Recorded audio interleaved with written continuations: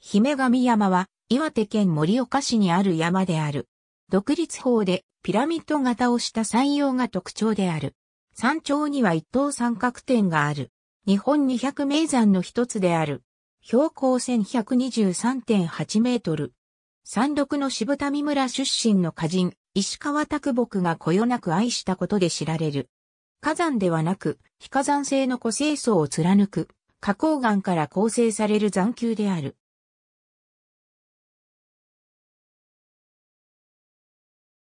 山頂からの眺めはよく360度開けていて、岩手山や早知根山、七十山などが見える。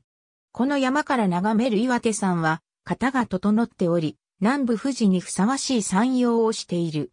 征夷大将軍坂の上の田村麻呂が統制の折、立江星神女を祀ったのが始まりとされる。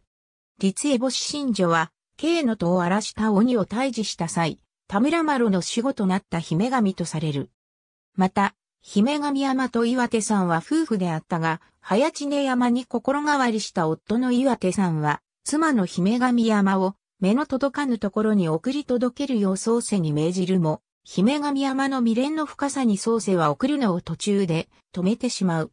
これに激怒した岩手さんは、創世の首を跳ね怒り狂って噴火を繰り返した。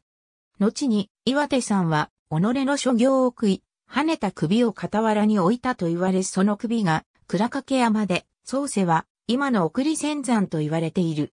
一本杉口、小坂口、田代口、城内口からの四本の登山道が存在し、最もポピュラーなのは一本杉口からのコースである。ありがとうございます。